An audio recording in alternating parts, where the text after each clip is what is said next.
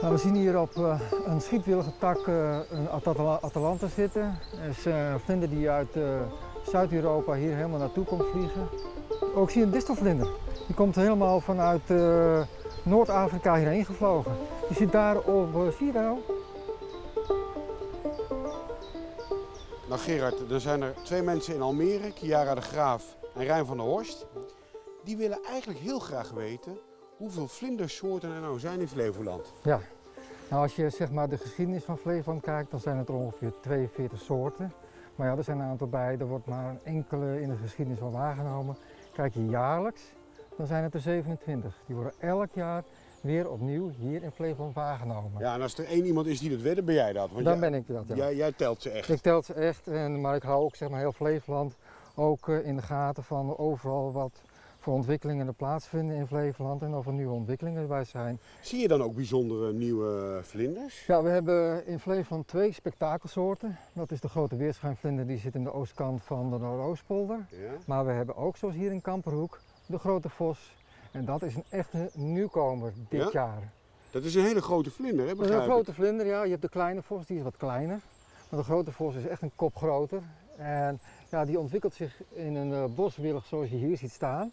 Gaan we hem zien dan ook? Bedoel, uh... Dat is best wel mogelijk, want ik had uh, afgelopen vrijdag de 13e maar liefst drie exemplaren. Dat is een landelijk record. Kunnen we hem ook hier zoeken, vinden? Ja, nou, het is zelfs een vlinder. Als, als je er zit, dan zoekt hij jezelf op.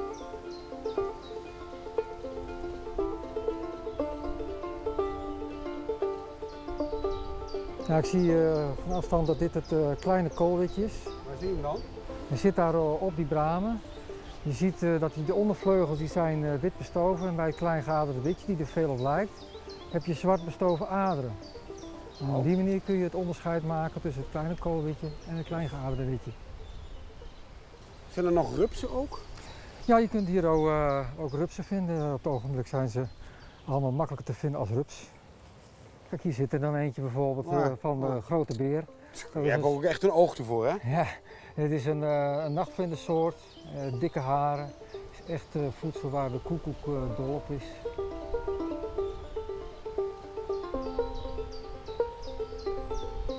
Nou, we hebben toch heel wat plekjes bekeken voor de Ja. grote vos, niet gezien. Als, uh, niet doekje om? Of? Ja, hier kan het ook nog eventueel wel mogelijk. Het zonnetje begint hier nou echt aardig goed in te schijnen. Ja, maar daar gaat het om, hè? Als de zon er is, dan... De zon er is, ja. ja. Een dagvlinder die, die kan echt niet zonder zon. Geen zon, ja, dan is het ook geen vlinder. Als ik nou zelf, zeg maar als leek, gewoon vlinders wil kijken, Ja. wat zijn dan de gebiedjes van het Flevolandschap waar ik moet zijn? Nou, zo hier Kamperhoek is natuurlijk een mooi gebied, maar ook het gesteentetuintje van het Schokkenbos. Ook daar kun je echt wel leuke vlindertjes zien, wat dat er gaat. Dus ja. ook een heel mooi gebied. En de grote vos, die kan je dus in de Kamperhoek zien. Maar Ja. ik begrijp nu waarom die zeldzaam is. Want we hebben hem niet gezien. We hebben hem niet gezien, ja, dat is helaas. Ja. Ja, je moet af en toe het geluk hebben dat je het juiste moment op de juiste plek bent en dan het vinden kan waarnemen.